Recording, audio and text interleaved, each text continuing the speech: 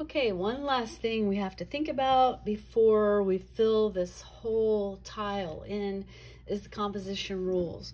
So remember, those rules are transparency, overlapping without transparency called opaque overlapping, and size variation, and the rule of thirds.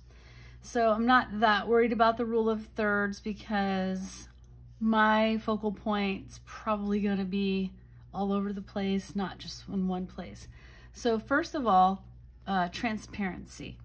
I need to create two shapes that overlap and where they overlap, a change happens.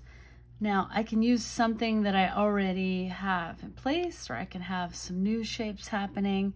So maybe I'll just do some kind of an organic shape.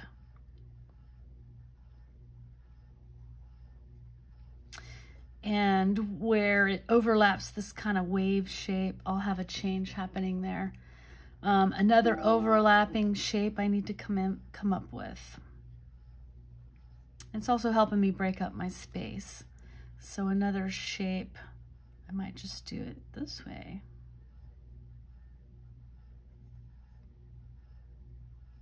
So I have these two shapes overlapping. Size variation, I could use a shape and do some repetition with the shape. Um, I could say that these are all sort of triangles, so I could break them up a little bit, causing a little bit of a variation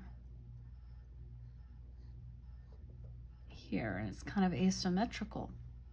And the rule of thirds, like I said, not unless I make this shape the most dynamic thing in my whole composition, I think the rule of thirds is going to take care of itself. but just to be on the safe side, I'll do some kind of really um, eye-catching kind of design. Spirals somehow always very eye-catching, so I'll throw that in there just to make sure that my focus point is not right in the middle.